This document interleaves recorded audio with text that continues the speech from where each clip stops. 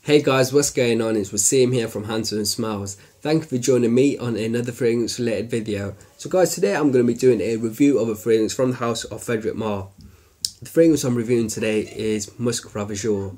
Guys, Musc Ravageur was released in the year 2000 and the nose behind this fragrance is Maurice Roucel. Guys, Maurice Roucel is a renowned perfumer. He's very popular. He's created other fragrances such as Nautica Voyage, Rochas Man and New Haarlem from the house of Bond Number 9. So let's move over to the notes of Musc Ravageur. Guys, at the top you're going to get lavender, orange and bergamot. The heart of the fragrance is cinnamon and clove. And the base of the fragrance is sandalwood, tonka bean, guaiac wood, cedar wood, amber, vanilla and musk. So guys, what do I get from Frederic Malle's Musc Ravageur? Before I move on to what this fragrance gives me or what it smells like on my skin, I just want to make a little note about Frederic Malle, the house of Frederic Malle. Guys, Frederic Malle really allows their perfumers complete creative control with a large budget to create any scent they would like. They're not bound by any restrictions that a lot of fragrances, fragrance houses put on perfumers, mainly designer houses where these houses require the perfumer to create a certain scent towards a certain budget to appeal to a mass market.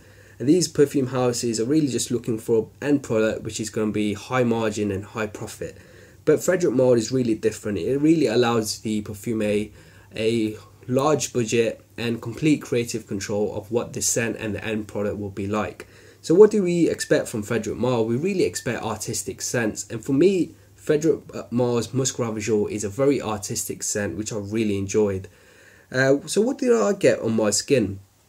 from Musc Ravageur. For me, the opening was absolutely sublime. It was absolutely beautiful, guys.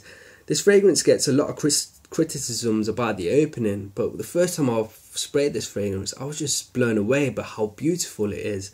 I was I was really expecting this the opening to be very off-putting and that I had to wait for the dry down to really appreciate this scent, but I was blown away by the opening. I thought the opening was absolutely incredible. For me, in the opening, I get a combination of the clove and the cinnamon. It's very, very spicy in the opening for me. I also get this really slight orange note in there as well. Now, this is not a citrusy feel by any means. The orange note in this is subtle, but it's definitely there. I pick up a very syrupy, sweet orange vibe. In the mid of Musc Ravageur, the cinnamon and the clove is still at the forefront of the scent, but you, you get this really lovely, dirty, animalistic musk. Now, this musk has sort of a civet type of a chord to it as well, and for me, it wasn't very strong. I would have really liked the musk, the animalistic vibe to be stronger, but it was there in the background. Now, for me, the musk that I got in the scent, I really didn't pick it up every single time I wore this scent. Now, I've been testing this the last few months and it was only on on the few uh, occasions that I wore this where I picked up the dirty musky vibe and on the other occasions my nose didn't pick it up at all which was I was slightly disappointed because I actually really enjoyed the musky dirty element of this scent in the dry down this fragrance becomes a vanilla bomb the main note you're going to get is this really really sweet vanilla the spiciness still hangs in there. You still get the clove and the cinnamon from the opening, but they're definitely in the background. This fragrance becomes very, very sweet in the dry down, and the sweetness really intensifies the longer the fragrance stays on your skin. For me, guys, after the the massive enjoyment I got from the opening, the dry down really left me quite disappointed. Uh, I really enjoyed the really daring uh, or the audacity of the opening. I thought it was absolutely fantastic. The opening will be very polarizing, but for me, I absolutely loved it. In the dry down, the fragrance became very safe to me. It's a very, very pleasing uh, dry down actually. A lot of people are going to enjoy the dry down. It's very sweet. The vanilla is definitely there, but for me, I was a little bit disappointed. I really enjoyed the dirty musky mid, and I really wish that carried on throughout the scent.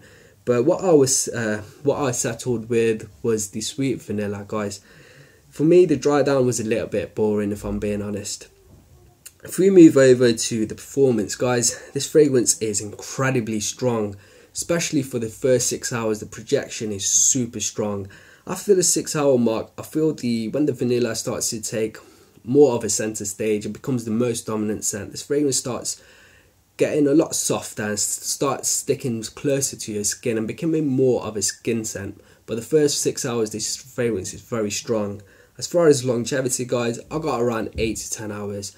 Around eight hours most of the time, but it does push it on to the 10 hour mark as well.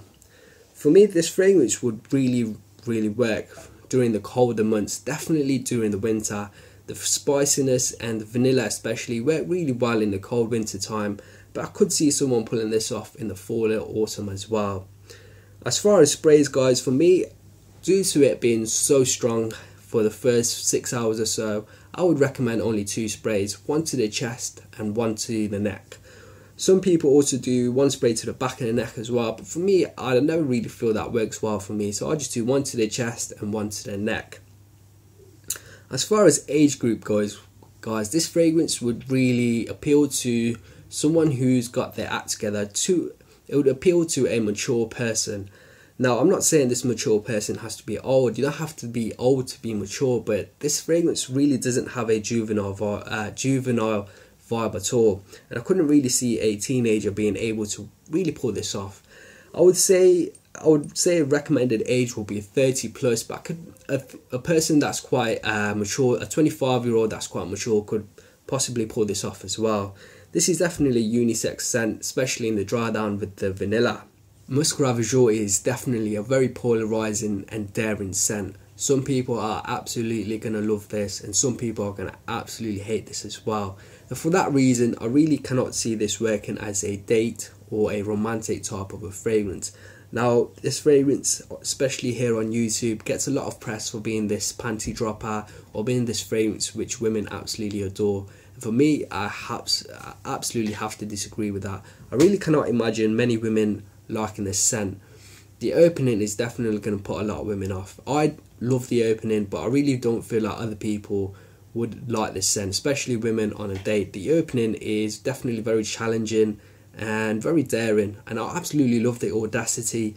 But I really don't think women would enjoy the opening of this scent. Now, the dry down, you're gonna get that really sweet, safe vanilla, which women would enjoy. But for me, guys, there's no point wearing Ravageur to a date. You could wear Acqua di Gio to a date. Women love that stuff, but really, I don't wear fragrances for women. I wear a fragrance because I want to smell good, how it makes me feel. I love to wear fragrances which have an artistic uh, element to it as well. And Musc Ravageur really has that artistic element. I absolutely love this spicy clove opening with that dirty animalistic musk. So for me, Musc Ravageur works well for those occasions where you want to smell different, you want to smell uh, unique. And for me, I would wear Musc Ravageur on those type of occasions. I would not wear this to a date at all, guys. So if you're looking for a date or a panty dropper, then don't look at Musc Ravageur, guys. Just buy it for yourself and not for someone else. Now, as far as overall rating goes, for me, uh, I'm going to give this a 4 out of 5. Now, the reason why I'm not giving it 4 marks is because the dry down left me a little bit disappointed. It became a very safe scent in the dry down. The opening was just sublime. It was absolutely beautiful, guys. The spicy clove opening with that dirty musk in the mid. I absolutely adored it. But in the dry down, it just becomes a very safe vanilla bomb. Excellent longevity, projection was very strong for the first six hours or so. So it was a solid fragrance, a very good fragrance, very artistic fragrance, which I absolutely adore. Not very versatile as well, so gets a little bit of a knock from that as well. Overall rating, 4 out of 5. That's Musc Ravageur. Guys, I hope you enjoyed this review. If you have, then make sure you subscribe. Guys, if you subscribe, then you can be the first to know about any of my new videos that are coming out. Also, remember to leave a like uh, below and leave a comment below as well. Until next time, my friends, see you later.